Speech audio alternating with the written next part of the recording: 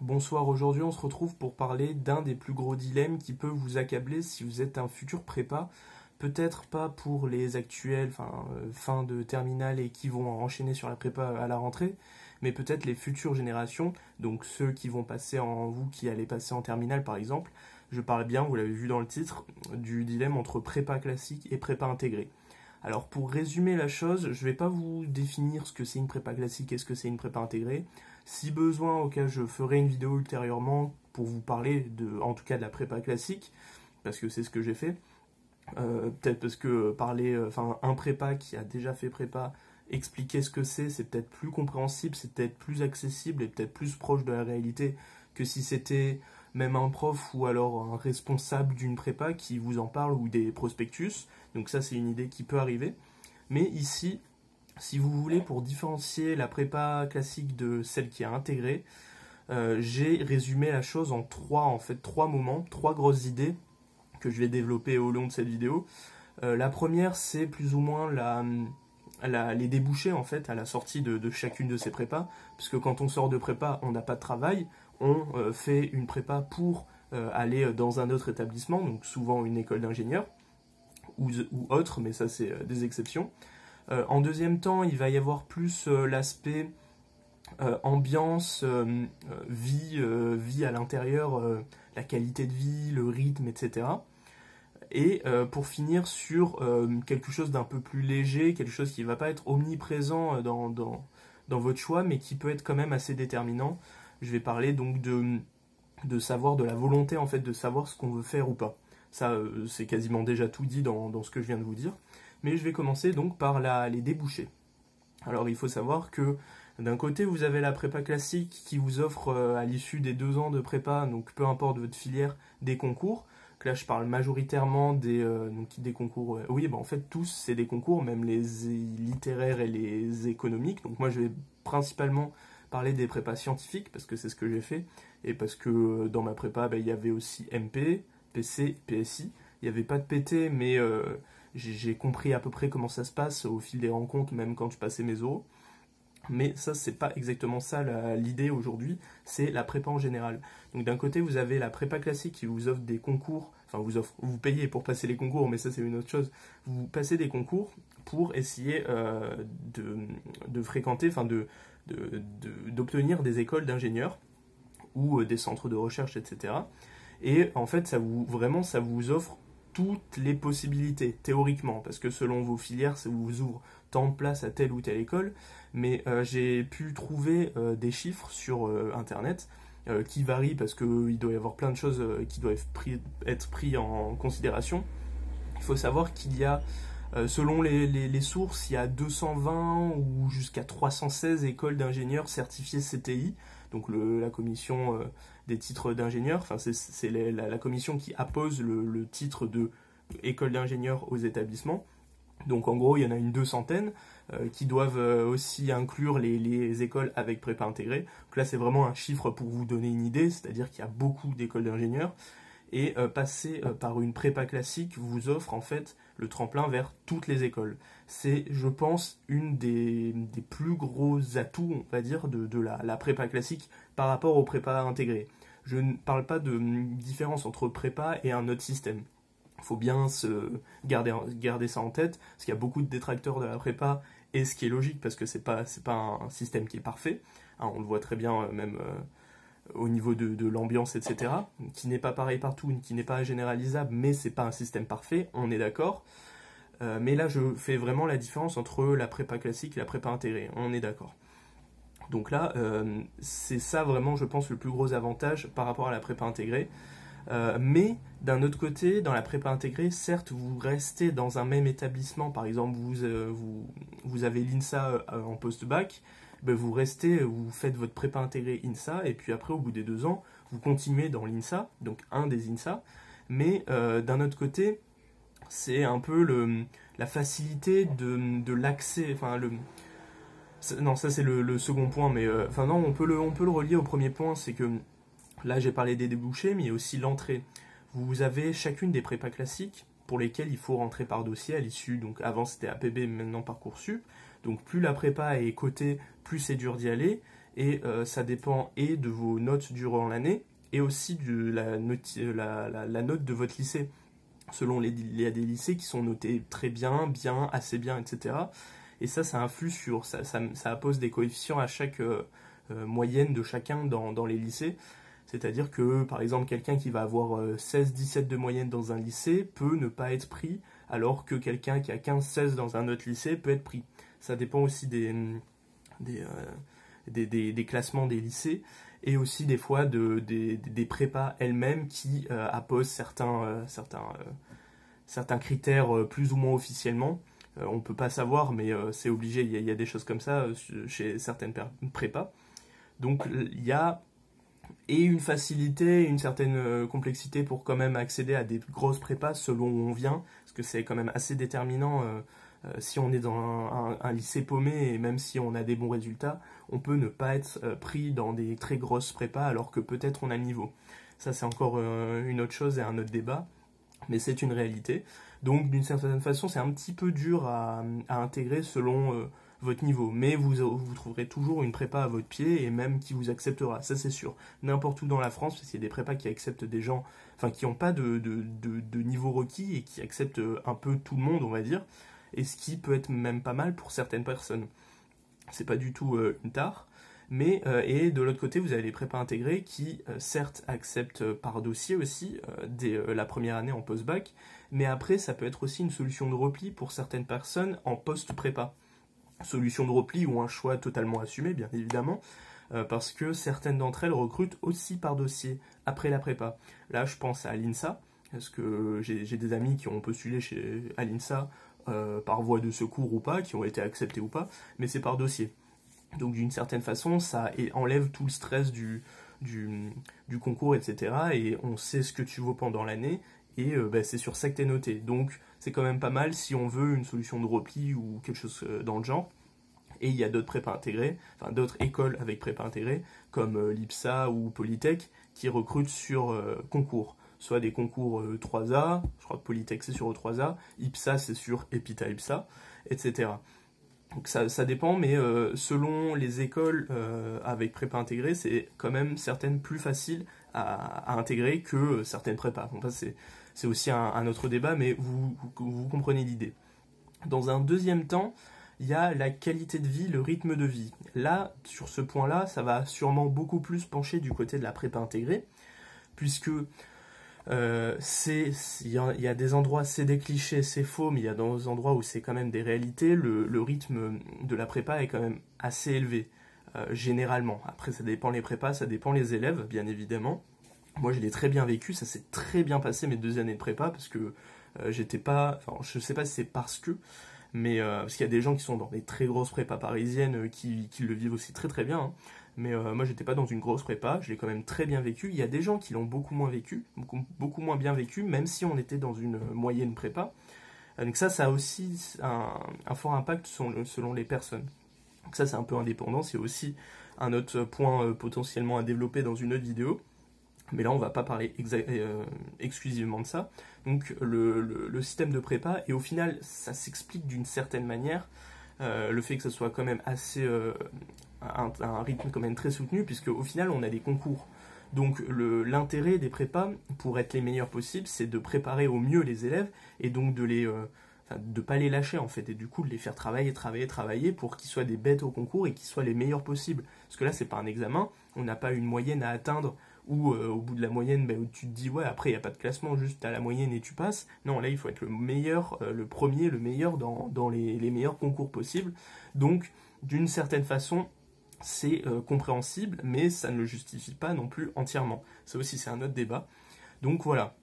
Là, ici, la, prépa intégrée est peut-être plus avantagée sur ce point-là, mais ce qui n'empêche pas des, gens en prépa classique de très bien s'en sortir, que ce soit dans des petites ou des grandes prépas, euh, au niveau psychologique ou même au niveau des concours. Ça, tous les cas de figure se rencontrent en prépa, c'est un peu la spécificité. Bon, au final, c'est un peu partout pareil, mais c'est vraiment ça, ça dépend les gens, ça dépend le contexte et surtout des gens euh, individuellement. Les réactions sont très différentes, que ce soit au niveau des résultats ou au niveau psychologique, selon les endroits, mais c'est souvent par rapport aux gens. Ça aussi, je pense, j'en parlerai, aussi dans une prochaine vidéo. Et euh, dans, les prépas des prépas intégrés, c'est donc vous le savez probablement, c'est pas la fin de la prépa intégrée n'aboutit pas sur un concours puisque vous savez à peu près dans quelles écoles vous allez avoir, c'est par euh, système de contrôle continu. Il doit y avoir des choses de type un peu partiel, etc. Dites-moi si des fois vous êtes dans une prépa intégrée, euh, me dire avec précision dans les commentaires, comme ça ça profite aussi aux autres euh, plus précisément comment ça se passe au niveau des, notations, etc. Mais j'ai cru comprendre que c'était par contrôle continu. En tout cas, c'est sûr que c'est pas par rapport à des concours, donc ça enlève beaucoup de stress, beaucoup de beaucoup de cette atmosphère qui peut être à certains endroits un peu, euh, euh, un peu, euh, j'ai pas le mot, mais un peu adver, enfin avec de l'adversité, ce qui n'est pas le cas partout encore, mais il y a des endroits et des personnes qui sont comme ça, toujours à, à, être, à vouloir battre tout le monde, et ce qui peut des fois nuire même à l'ambiance de classe, ça c'est sûr. Il y a aussi le fait que, ah non, c'est pas dans cette vidéo que je voulais en parler, ça n'a aucun rapport, oubliez ce que je viens de dire, donc oui, donc euh, ça joue beaucoup. Et euh, il y a aussi un peu moins d'incertitude quant au niveau de la personne. Par exemple, une personne qui sort de, bac, qui arrive du bac et qui arrive en prépa intégrée, elle va avoir toutes sortes de, contrôles, etc. Et en prépa intégrée, c'est censé être un petit peu plus facile. Je ne sais pas si ça l'est réellement, mais en tout cas, le rythme est beaucoup moins tendu et il y a moins de stress, etc. Donc c'est aussi beaucoup favorisé par des personnes pour cette raison-là. Et euh, il y a sûrement, comme c'est peut-être un petit peu plus facile, moins d'incertitude au, niveau au niveau du niveau de la personne, parce qu'on voit très bien, si vous êtes en prépa, vous avez sûrement dû avoir aussi ce genre d'exemple, des gens qui avaient euh, des 17, euh, 18 au lycée, qui avaient 18 ou 19 au bac, et qui arrivent et qui se rétament en prépa, j'ai des exemples comme ça, et au contraire, mais même en, malgré qu'elle bosse de fou de fou en prépa, elle n'y arrive pas, et, et d'autres personnes qui, elle, ne foutait rien au lycée, qui avait euh, un, petit 14 euh, de moyenne, par exemple, et euh, à peu près pareil au bac, et qui arrivent en prépa, et qui ont 14 aussi, en se foutant rien du tout, mais qui se débrouillent à être deuxième de la classe, ou quelque chose comme ça, et qui a l'étoile en deuxième année, tout tranquille. Il y a vraiment tous les cas de figure. C'est l'aspect incertitude qui est très présent en prépa, et qui est forcément dépendant de votre niveau, mais pas forcément de votre niveau avant lycée. Des fois même ça s'explique pas. Une personne qui est ultra sérieuse, qui travaille beaucoup, même qui travaille plus en prépa qu'au lycée, mais qui a des résultats lamentables, et que d'autres c'est le contraire. Et c'est ça qui est fou et même des fois injuste pour pas mal de gens. Mais euh, on peut rien y faire au final.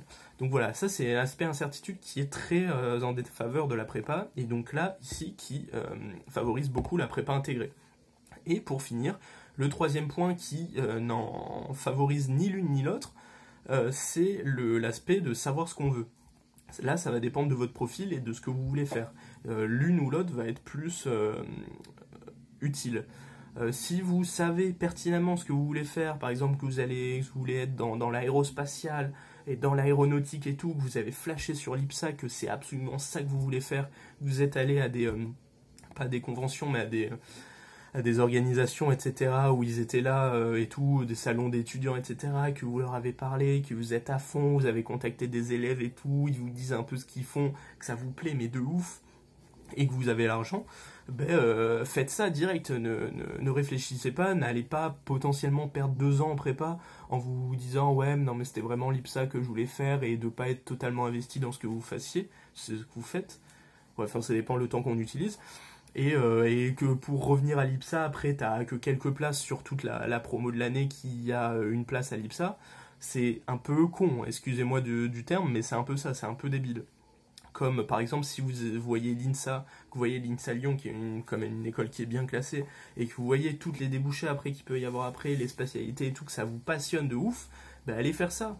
Ne, vous dites pas, euh, tiens, je vais rentrer dans le moule de tout le monde, allez, je vais faire une prépa MPS6, s'il faut, je vais euh, ne pas aimer du tout, euh, être totalement en déphasage, en déphasage, avec le rythme et tout, et avec derrière la tête l'idée que l'INSA, ça, ça, aurait été mieux. Non, ne faites pas cette erreur, entre guillemets. Bon, après, vous pouvez pas trop savoir comment ça va se passer, mais foncez en prépa intégrée, si c'est ça votre profil. Par contre, si au contraire, vous vous sortez du bac et vous êtes plutôt du type vous avez des bons résultats et vous savez pas trop quoi faire, mais dans le scientifique, c'est pour ça que vous faites prépa, ben faites là du coup peut-être prépa euh, classique. Si euh, ce que je vous ai dit avant euh, et en faveur de la prépa classique, bah, si vous ne savez pas non plus ce que vous voulez faire, si vous n'avez pas un domaine particulier qui vous passionne, et puis que je sais pas, l'INSA, bon, ça vous a pas passionné plus que ça, Polytech, etc. non plus, et que vous avez un bon niveau, enfin un, peu, un apparent bon niveau en tout cas au lycée, bah, testez la prépa. De toute façon, au pire, vous arrêtez la prépa au bout d'un an, vous terminez l'année au bout d'un an et vous allez dans une prépa intégrée si c'est possible, ou en IUT ou je ne sais pas du tout. Voilà, ça, ça, c'est un truc à réfléchir aussi. Voilà, c'est des fois c'est pas nécessaire d'aller en prépa classique pour euh, bénéficier entre guillemets de cette incertitude énorme et de peut-être tout rater alors que euh, à côté vous aurez pu très bien réussir et euh, avec beaucoup plus de plaisir. Voilà, vous avez en résumé le côté débouché etc qui peut être beaucoup plus vaste et qui du coup est vraiment en corrélation avec le fait que si vous savez pas trop quoi faire, c'est vraiment très utile. Enfin ça peut être très utile et très profitable. Et de l'autre côté, euh, vous avez euh, le, style de vie, l'ambiance qui peut être peut-être un peu moins bonne, qui le rythme de travail qui est sûrement beaucoup plus élevé en prépa et donc qui favorise euh, la prépa intégrée au niveau de peut-être cette vie, le, rythme de vie, la qualité de vie. mais ce qui ne veut pas dire que si vous allez dans une prépa classique, vous allez vous faire démonter la gueule, vous allez mal le vivre à coup sûr. Il y en a forcément qui le vivent mal, de moins en moins peut-être, plus les années avancent, parce que le, système se dérouille un petit peu, il y a un peu moins d'archaïcité, d'archaïsme, je sais pas comment on dit, au niveau des profs, etc. De plus en plus de profs deviennent en fait des gens normaux. Euh, ça, se retrouve aussi beaucoup dans les prépas moyennes et petites. Euh, les, profs sont beaucoup plus à l'écoute, même si dans les grandes prépas, il y a aussi pas mal de profs qui sont à l'écoute. Et du coup, ça en fait des profs géniaux, qui sont pas juste là, juste pour vous casser. Il y en a toujours, même dans les petites prépas, il y en a toujours qui existent. Mais euh, Dites-moi si vous avez été dans une grosse prépa ou si vous y êtes encore actuellement ou que vous allez euh, continuer votre deuxième année à la rentrée. Si des fois vous avez des, profs un peu exceptionnels mais dans le mauvais sens qui sont vraiment très, très cassants. Mais je ne pense peut-être pas que c'est une majorité. Quoi. Donc ça aussi, parlez aussi avec des étudiants, etc. Et faites votre choix.